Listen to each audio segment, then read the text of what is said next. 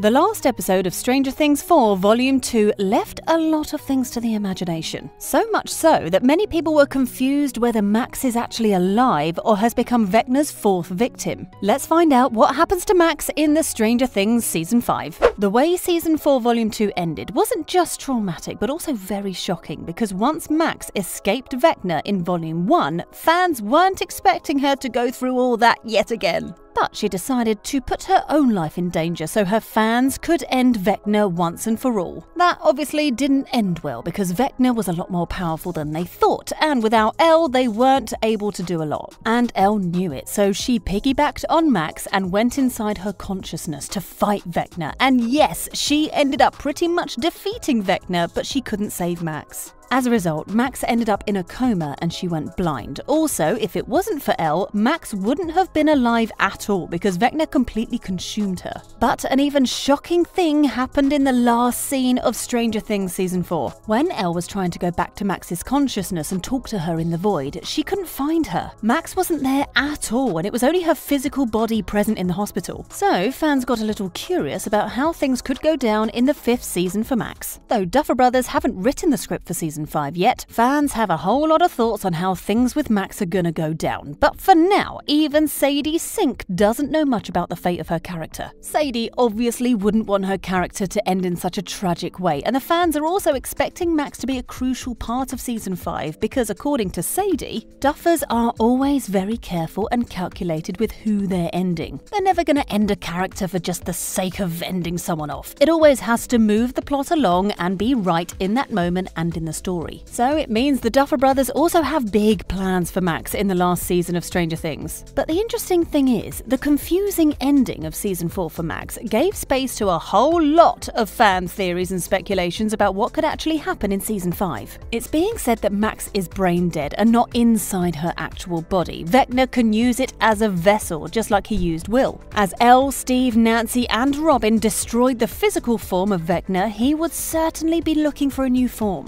And Max Max being in a coma and her memories being completely consumed, she could be a perfect host for Vecna. So it's a high possibility that Max becomes a pawn of Vecna and he uses her to spy on the whole party. He could even use Max as a hideout, just like Mind Flayer used to. Also, while we're at it, you should know that Mind Flayer isn't completely gone either, and the cloud or shadow that we saw in the Russian prison was actually a part of Mind Flayer. So, Vecna could also summon Mind Flayer and he could completely control Max in no time. Another very interesting way that Max's plot could unravel is that she's still present inside of Vecna. Yes, that's very true, because when one consumed all the kids in the lab, he told El to not worry. His actual words were, They aren't gone, Eleven, they're right here with me. So there is a high possibility that Vecna's victims don't just disappear in thin air, but become a part of him. And if we believe this theory, Max's soul and memories are now part of Vecna. You might already know that Vecna doesn't just end his victims, but completely consume consumes their thoughts, memories, and their soul. So, if he has consumed Max's soul, it means it's still somewhere in him. And a huge part of the fifth season would mostly be about El trying to enter Vecna's conscious mind and bringing Max back to consciousness. And it also is very much possible now that El is powerful enough to actually defeat Vecna and bring a human back to life. But we don't know what Vecna has in mind yet, and now that Upside Down has actually completely taken over Hawkins, things have gotten a tad more complicated. A theory also proposes that when Vecna consumed Max, it was the beginning of his end. He became very vulnerable, and the party will end Vecna with the help of Max. It actually makes a lot of sense, as part of Max is actually in Vecna, and if Max becomes strong enough, she might actually do some harm to Vecna from within. Not only this, Max might actually find Chrissy and all the other victims in Vecna's consciousness, and they can destroy him from within if they all team up. So it'll be an ideal Stranger Things climax when everyone is trying to end the evil at the same time from different places. Also, Max might actually be consumed by Vecna entirely, and she could also end up being the first Stranger Things villainess. Plus, running up that hill, the song she used to listen to by Kate Bush to stay away from Vecna, is also a hint at this theory. In this song, the woman is wishing that she could swap bodies with a man and experience what it's like to be the opposite gender. It might be a hint that Max eventually becomes Vecna Vecna and taste what it's like to be a villain. If something like this actually happens in season 5, it wouldn't just be shocking, but also pretty iconic, and people are also expecting the Duffer Brothers to come up with something very different because that's what they do every season. No one expected Henry to be one and one to be Vecna, so this season has been one hell of a ride towards thrill and sudden revelations. And we can expect a lot more than just that from the next season. Also,